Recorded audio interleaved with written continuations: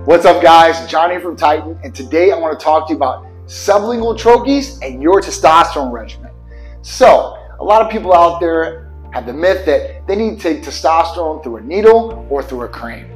Guys, that is totally incorrect. And that is a myth because you can take your testosterone regimen through a sublingual troche.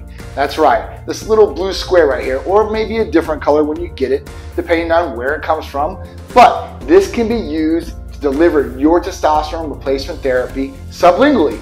All you have to do is put it in your mouth and put it underneath your tongue, and you will get an absorbency of about 60 to 70%. It might not be as good as an injection, but it will be better than a cream transportation rate. So if you're looking for some other way of taking your testosterone regimen, because maybe you have a phobia needles, you don't like to give the injections, whatever it may be, then sublingual transportation might be the delivery for you and your testosterone replacement therapy. So if you're interested in troches for your testosterone regimen, please call or text us today at 727-389-3220. Visit the website titanmedicalcenter.com and tell them, John talking about these troches. I want to know if I can get my testosterone regimen in this form. Thanks, guys.